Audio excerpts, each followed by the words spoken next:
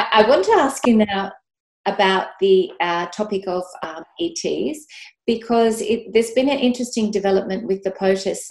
Uh, I noticed in January he was asked about whether he believed in ETs, and he said the words not particularly.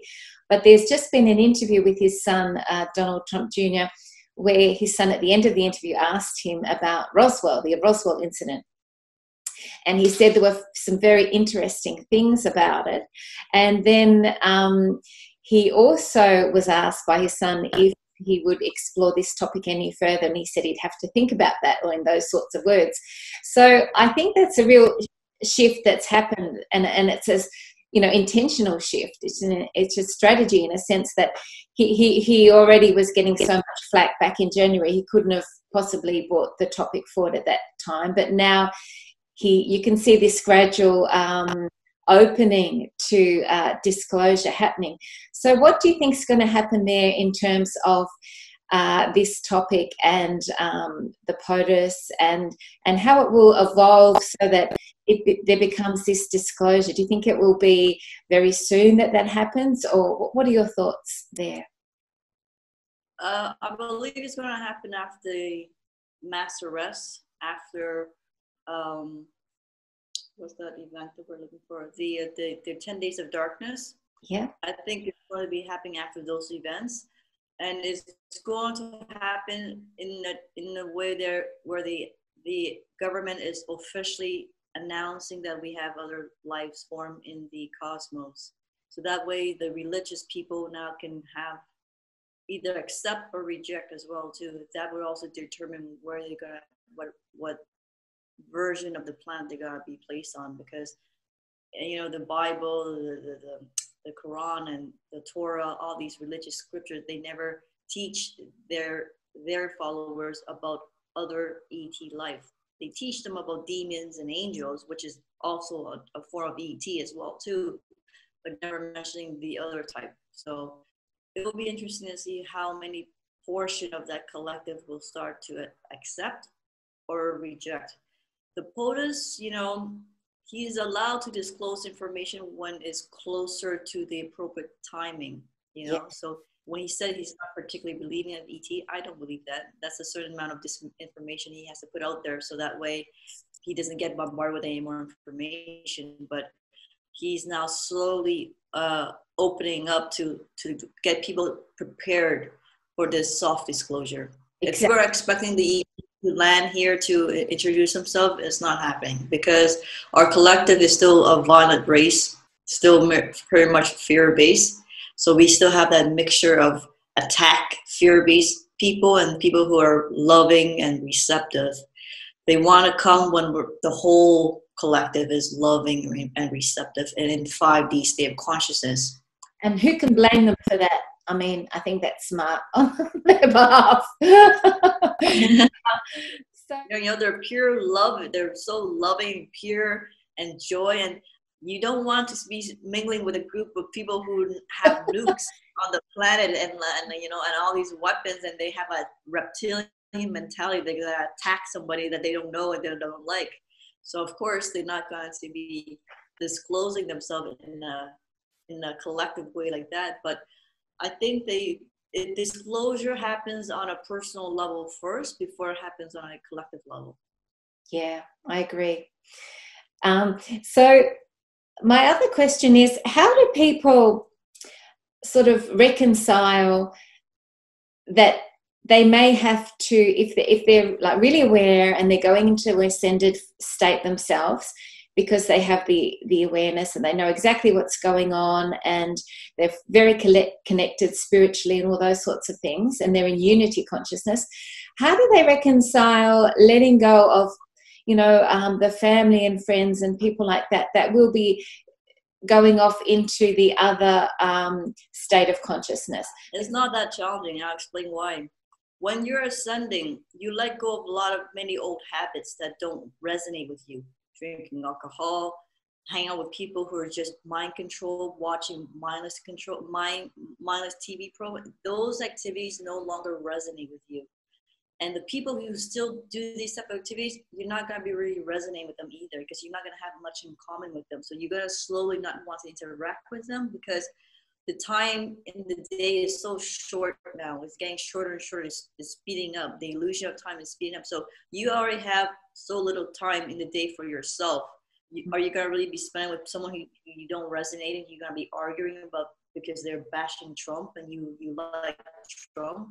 Not so, you probably won't be hanging out with those people. So this is how the timeline is splitting. That you're gonna branch out and you're gonna you know start developing a new circle of friends that are more awakened that are on this path that you are vibrating on. And you got you know your vibe attracts your tribe. And when you're vibrating at a different frequency you're going to be attracting a different collective that has the same frequency as you. So i don't see it as being a problem because i'm already having friends in my life in this particular timeline already dropping out of my timeline. Two of them have to move back to their home country where it's still very much controlled by their government and they're not really happy and they're they're stuck in their in their timeline. But it's because their consciousness is stuck. I live abroad. My family lives back in Canada, so I've already detached. You know, I, I talk to them very sparingly.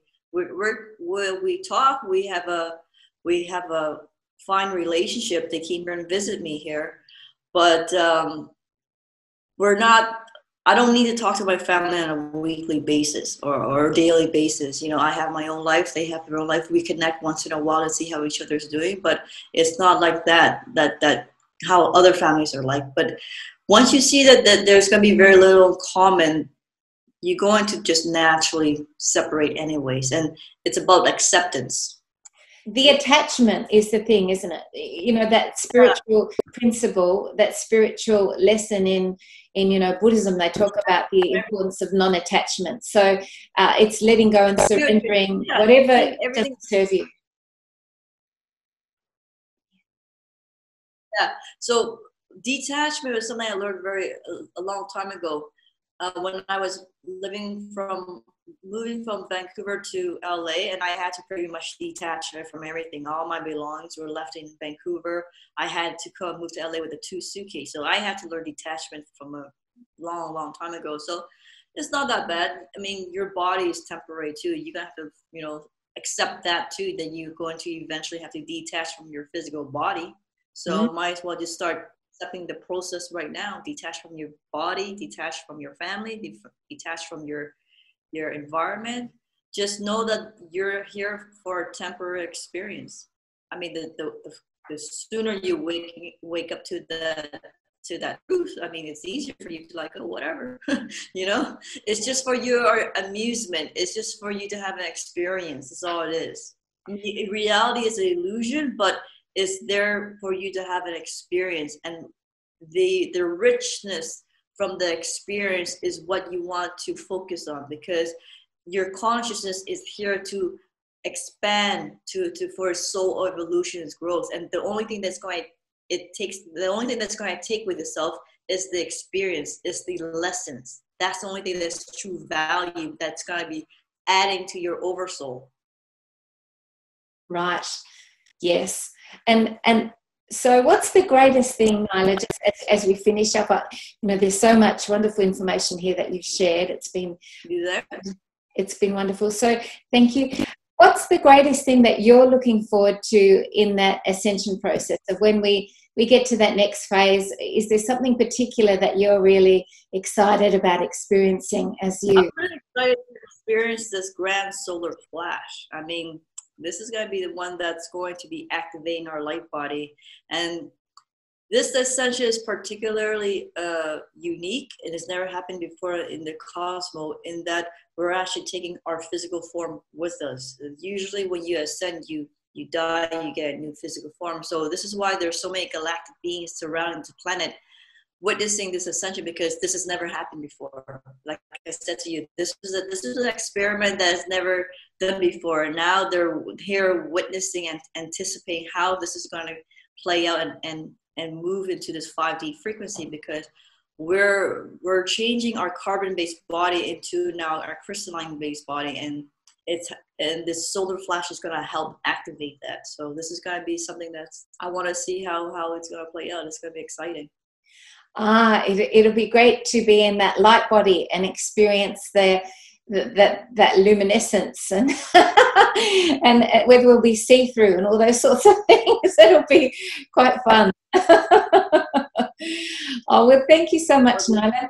It, uh, um, I really love talking to you today. There's just such a wealth of information. it's going to take people a while to integrate it all, and a continued success with with the and and and really I know that it's all about awakening the masses with your um, 3D to 5D consciousness YouTube channel. So check it out, everyone. It's a wonderful channel, and there are a lot of videos there that you can catch up on if you haven't watched them before.